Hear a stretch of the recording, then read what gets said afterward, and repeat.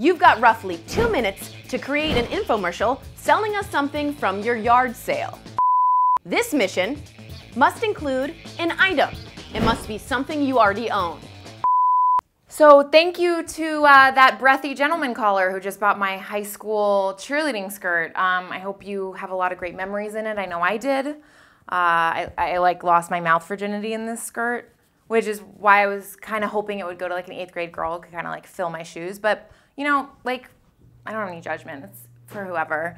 Um, the next item that we are going to move on to in our indoor outdoor yard sale is a photo album that literally has photos compiling my entire life. So not only do you get the album, you also get photos like of my life, which I mean, if you're watching this video of like a yard sale on TV, like you probably need some uh, photos to show people. Like again, no offense.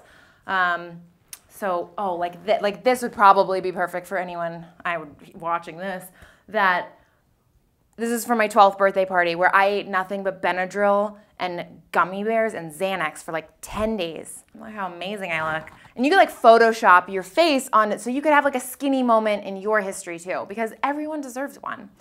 How much, what is the price you put on childhood memories? Like $50? This is $50. No, you know what? We'll cut that in half. 25 for this album.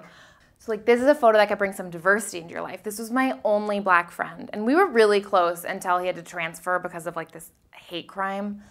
It, it's actually kind of sad. Like I was involved, but like I was kind of tricked into it.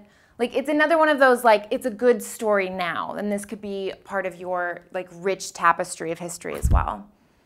This is a party in college where uh, this guy actually like got arrested at the party for hooking up with a girl, like beating up a girl and hooking up with her. I don't like the order is a little fuzzy, but like that happened.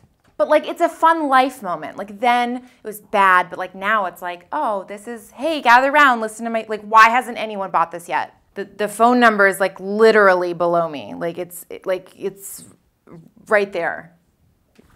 All right, I really uh, don't understand why this hasn't sold yet. Something must be wrong with the connection.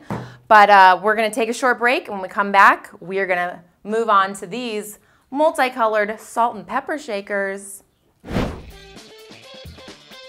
Don't forget to follow us on Twitter, like us on Facebook, and of course, subscribe to our YouTube channel. That way you'll stay up to date on all our latest missions.